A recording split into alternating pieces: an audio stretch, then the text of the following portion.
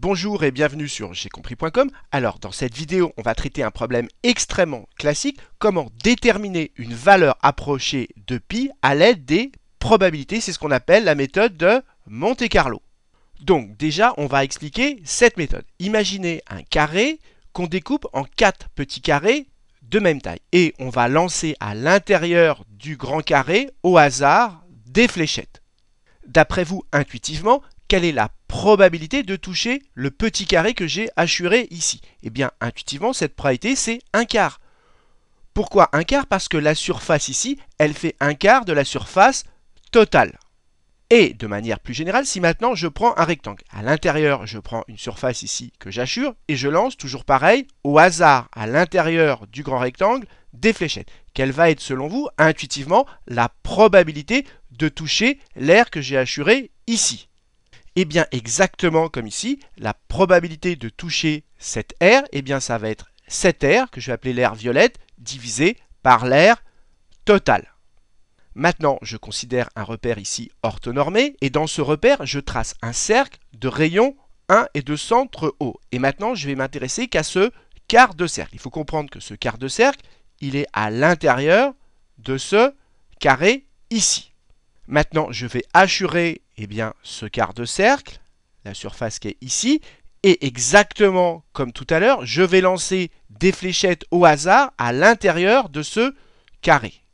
Et la question que je vous pose, eh bien, quelle est la probabilité d'être à l'intérieur de ce quart de cercle? Eh bien, exactement comme tout à l'heure, si on lance une fléchette à l'intérieur de ce carré au hasard, la probabilité qu'elle soit dans l'air assuré violette, eh bien, c'est quoi? Eh bien, c'est justement cette air assuré violette divisé par l'air total, c'est-à-dire l'air du carré.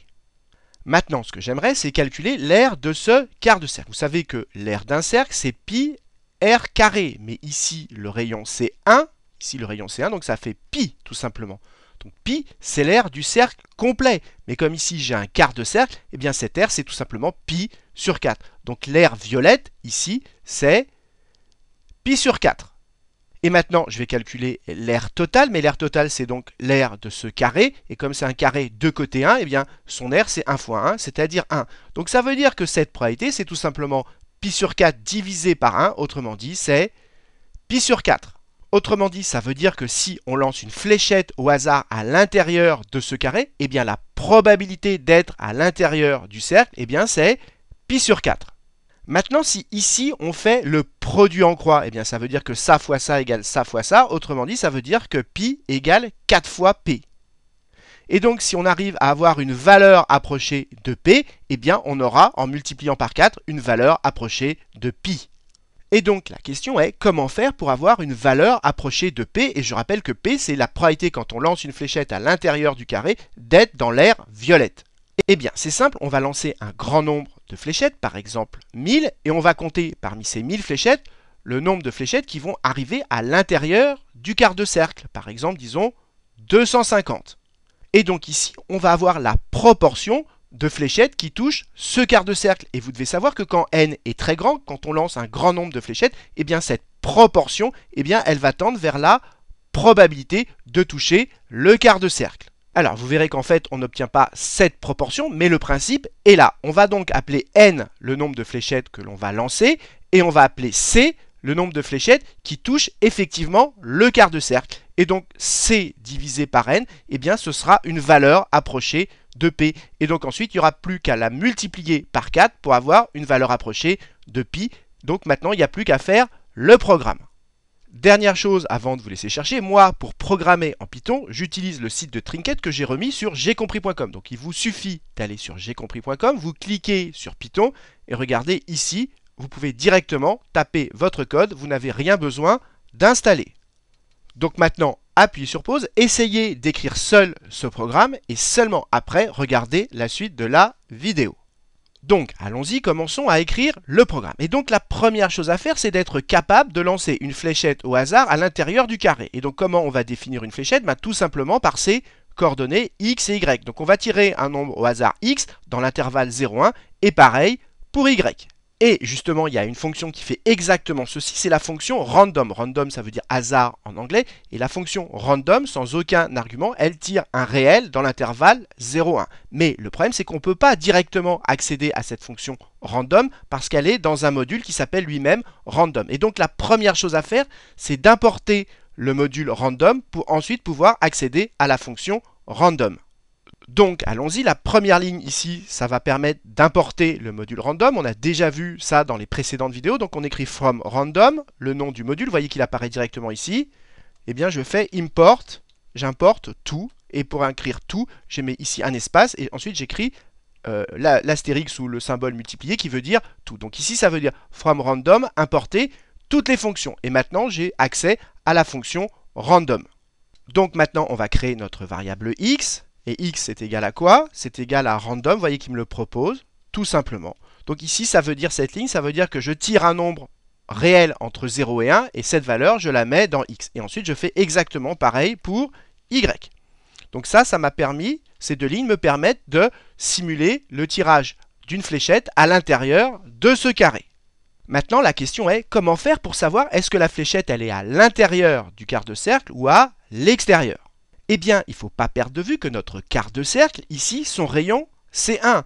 Et donc, à quelles conditions la fléchette est à l'intérieur du quart de cercle? Eh bien, tout simplement lorsque la distance entre l'origine et notre fléchette, lorsque cette distance est inférieure ou égale à 1.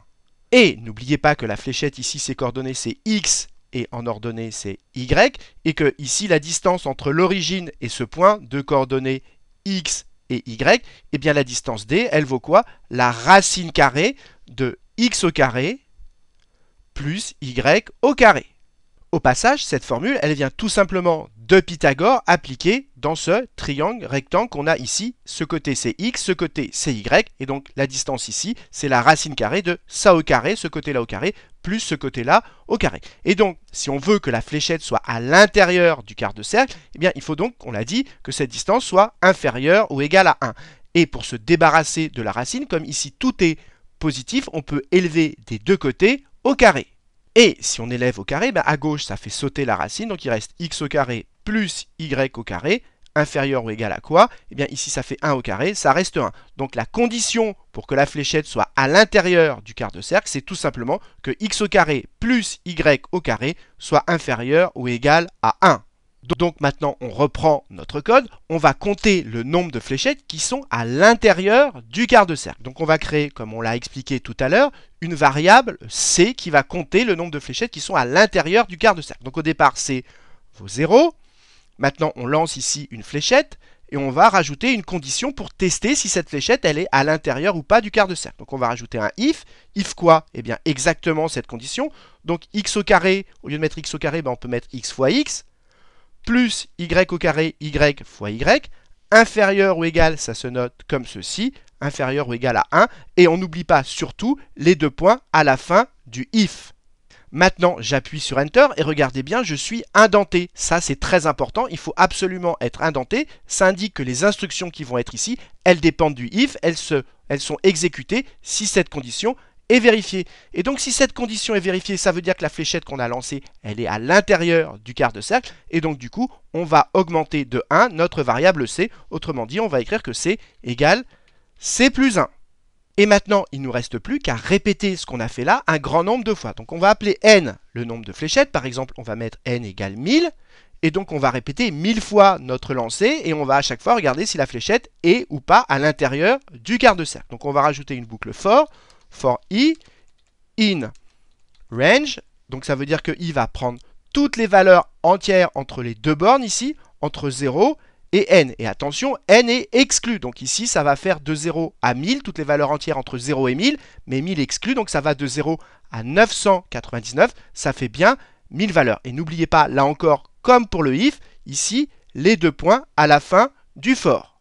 Et exactement comme pour le if, les instructions qui sont répétées dans le for, elles doivent être décalées vers la droite du même nombre d'espaces. Donc je les sélectionne et j'appuie sur mon clavier sur la touche Tab. Vous voyez qu'avec Python c'est visuel, on voit visuellement euh, que toutes ces instructions, elles vont être répétées dans le for. Maintenant, prenons un petit peu de recul par rapport à notre programme. Donc ici, on a créé une variable C qui compte les fléchettes qui vont tomber à l'intérieur du quart de cercle. On répète mille fois l'opération, on lance notre fléchette, on regarde si à l'intérieur ou pas du quart de cercle, et en fonction, on augmente C de 1 ou pas. Maintenant, il nous faut la proportion de fléchettes qui vont être à l'intérieur du quart de cercle. Eh bien, c'est le nombre de fléchettes qui sont dedans divisé par le nombre de fléchettes qu'on a lancées. C'est donc ici C divisé par N. C divisé par N, c'est donc la proportion de fléchettes qui sont à l'intérieur du quart de cercle. Et n'oubliez pas que C sur N, on va le multiplier par 4 pour avoir une valeur approchée de pi. Donc ici, je rajoute x 4. Et maintenant, j'ai plus qu'à afficher cette valeur, donc je rajoute un print, print égale 4 euh, fois C sur N, et je ferme ma parenthèse, et maintenant, on va pouvoir lancer notre programme. Donc allons-y. Ici, je rappelle qu'à gauche, ici, j'ai mon code et que ici à droite, j'ai le résultat de mon code. Donc ici, j'ai une petite poignée qui me permet de réduire cette fenêtre pour mieux voir la partie droite, là où je vais avoir le résultat de mon code. Donc allons-y, on lance le programme, donc je clique ici, et voyez, j'obtiens 3,08. On voit que déjà, c'est pas très loin de la valeur qu'on connaît de pi. Et on va augmenter le nombre de tirages, et vous allez voir que plus j'augmente le nombre de tirages, plus la valeur ici que je vais obtenir est proche de la valeur que vous connaissez de pi. Donc allons-y, par exemple, j'augmente ici, je passe à 10 000, je relance, et vous voyez que maintenant je suis à 3,15. C'est plus proche de la valeur approchée que vous connaissez de pi. Et si j'augmente encore, regardez, je relance, eh bien voyez que j'obtiens une valeur approchée de plus en plus proche de celle que vous connaissez de pi. Donc voilà, on a réussi à écrire un programme qui donne une valeur approchée de pi en utilisant des probabilités, et c'est ça qu'on appelle la méthode de Monte Carlo. Donc j'espère que cette vidéo vous a permis de bien comprendre cette méthode de Monte Carlo, de bien progresser en Python. Et si vous avez eu du mal à faire ce programme, eh bien je vous conseille très fortement de le refaire seul, mais cette fois-ci sans regarder la correction pour être sûr de le maîtriser parfaitement. Et comme d'habitude, si vous avez apprécié cette vidéo, n'hésitez pas à la partager et à la liker.